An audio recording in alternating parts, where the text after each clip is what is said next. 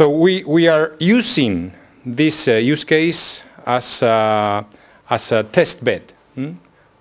because what the, the, main aim of, uh, of the case is uh, giving the opportunity to develop and validate the technologies. So remember this. The idea is that we have technologies. We are going to review some of them. And this is only the test bed in order to uh, validate them. Here I'm going to see, I'm, I'm, going to present uh, a very short video with only some screenshots. Uh, if you want to see the live demo, we will have it later on. And we will review which are the main technologies uh, implemented in the, in the case.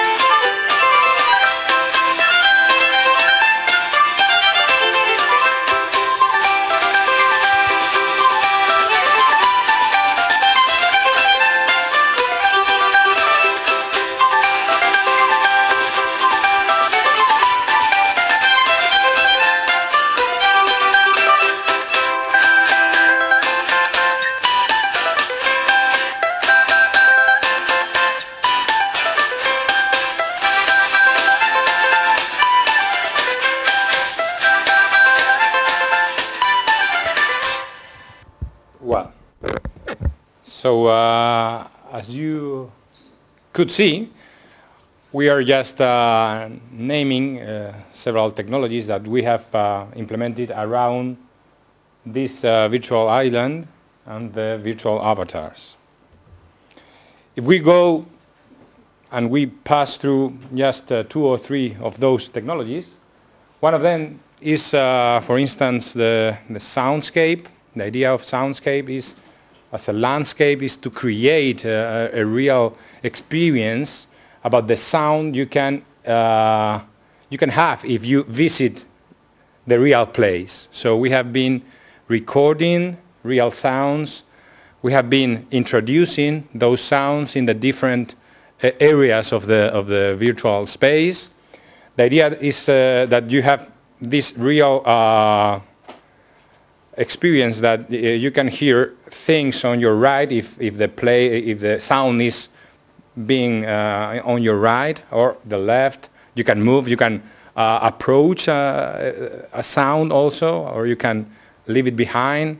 So this is uh, the technology we have been implementing and, and, and uh, validating here. You can have your own experience about that later on. Another thing is the video streaming. Video streaming is nothing new.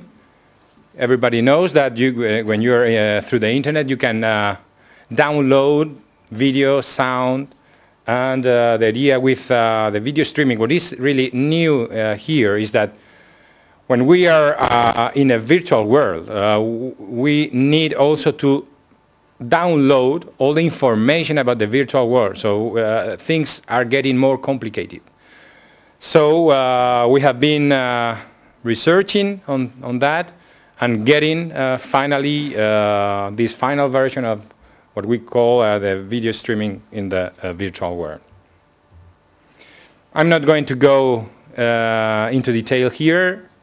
Samuel told us uh, before what they have been doing in the multilinguality area the MLIF, Multilingual Information Framework, that has been also implemented and validated as in other uh, projects through our uh, use case. Well, some other technologies, because we are here talking about technologies.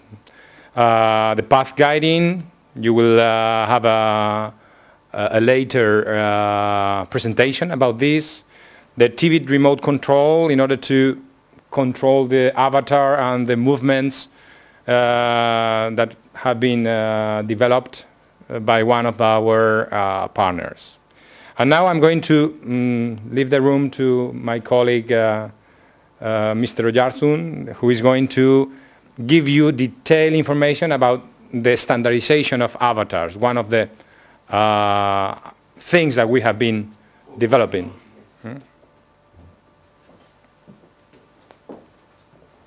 Thank you, Antonio. Uh, okay, regarding the, the avatars, we have uh, decided to, to, to standardize uh, this part uh, because of the importance into a virtual world. If we uh, see a virtual world like an, in a conceptual way, we have that we have four elements, the virtual world it, it itself as a container of the, of the information and 3D content the user, the agent as a software simulation of a user, and the avatar that represent all the intelligent parts in the virtual world in order to communicate and collaborate themselves. So as uh, any other uh, element in a virtual world, the avatar presents some problems regarding the illusion of presence the adaptability and the, the interoperability. So we, our focus is to, to solve them for, for the avatar. Uh, the presence, uh, okay, uh, all of us know that if you go into a virtual world, you have uh, a lot of options for configuring your appearance but there is a lack of other features like personality or communication skills or things like that. Uh, that uh, in the case of the uh, virtual travel use case, maybe they are more important because uh, a lot of people from different countries, cultures, uh, the like, go into the same place and maybe they would like to be uh, well represented. So this is a special problem for, for the tourism, virtual tourism. Uh, other problem is the adaptability that focused on avatars. Uh, we refer to communication. In general, we have only one or two communication channels in a virtual world. Uh, maybe you have text or voice, or maybe only one of them. And other uh, channels, for, for example, for inclusion, like uh, language or things like that, are not uh, uh, taken into account. Uh, so the preference or needs the, of the users are not taken into account. And other features uh, like the language uh, cannot be defined, and this is other problem in the virtual travel use case because people from different countries are accessing to the same place in the same moment.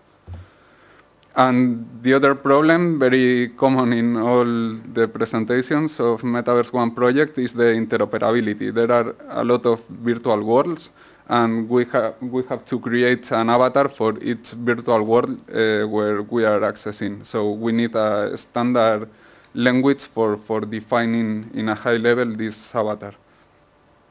So basically, I could include uh, dozens of, of slides about the research, but it's quite boring. So uh, basically, the result is the ADML language that is uh, a contribution for, for the MPEG-V uh, standard that we have developed. So basically, we have three, let's say, areas that solve the problem presented. One of them is the appearance that I'm not going into detail because it has been done by Institute Telecom, uh, the group of Marius Preda. Uh, the personality that defines some attributes that uh, has been uh, defined for psychologists and people like that. Uh, and the communication area that defines uh, channels like speech, text, sign language, or other kind of communication. So just an example. Uh, here we can see an, an X, uh, ADML file is an XML-based uh, file. Uh, in this part, we are defining uh, our communication channels, okay, the communication channels of our avatar. That is, okay, uh, I can speak, my default language is the English, but I can speak French too in, in which kind of channel, channel for example, text or voice, uh, the, the sing language that I am, I am able to understand or, or to, to, to generate. Here we have the appearance. Uh, very briefly, uh, we define some attributes that specify how an avatar should be. Uh, for example, I would like to be a child in a virtual world with blue, uh, blue eyes and uh, carrying a bag of red color. So basic, basically, we give the virtual world the responsibility for rendering uh, the, the avatar in, in this way. Uh, it's just a high-level definition. So this is, this is the personality part that is just uh, put some values to this traits that has been created by psychologists. And basically, uh, this uh, maybe seems uh, quite simple, but uh, uh, it, it uh, implied a big research, and we have obtained some publications. Three of them are ISI candidates, a book chapter, and my PhD, so it's quite innovative. So. Thank you. Okay, thank you, David. So uh, in the last three, four minutes, I'm just going to review uh, what uh, we have done. I mean, on the one side, we have uh, the technologies. We have reviewed, more or less, some of them. On the other side, we have the use case. The use case, finally, is an integrator. So it, uh, it is a package itself, functioning, uh, working. So it has its value. If uh, we think about this package on two different sides, on the one side is uh, the tourist side, on the other side is the, the destination side, we can see which are the main benefits for both parts. On the one side, the tourist uh, person, we are talking about the first innovative experience about the, destiny, uh, the destination. Uh, the, the tourist can experience somehow the main uh, hotspots of the, of the place, and uh, even the tourists can uh, organize the trip at home beforehand. So these are some of the benefits for the tourist. If, you, if we talk about the destination, this is an, a new way of making uh, publicity also for, for, the, for the destination. We are talking about in this case, uh, Gran Canaria. Gran Canaria is the first, in this case, the first island of the Canaries using virtual technology. This is a, uh, a good point.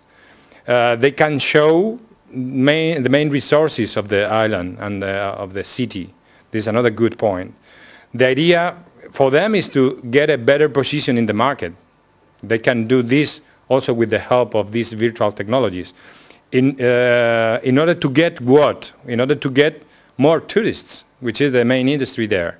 So attracting more tourists is one of the main reasons for all this.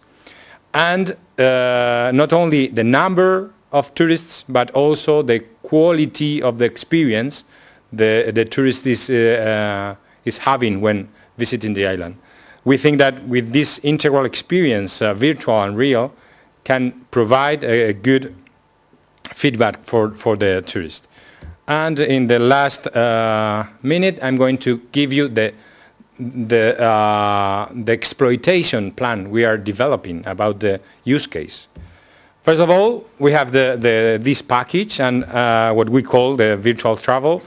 We already have interest by uh, several municipalities in the Canary Islands who, uh, which are trying to get something similar with the technologies inside. So uh, as a package is, uh, can be also profitable. Then part of this uh, package can be also sold as we call in this case uh, the virtual museum for instance. We have an association of museums in the Canary Islands uh, interested in making all the museums uh, uh, digital, virtual, virtualizing the different museums. So this is another thing interesting. And out of the scope of uh, tourism, but taking into account the virtual technologies, there is another area where part of the partners mm, which has been working in this use case are making money already. This is what we call the uh, virtual aid. Uh, we are developing also virtual technologies in order to, together with uh, GPS uh, positioning systems, uh, help uh, the community, for instance, in extinguishing fire in the, in the island. So these are three areas uh, that we would like to mention about exploitation. And that's it. Thank you very much. And next one.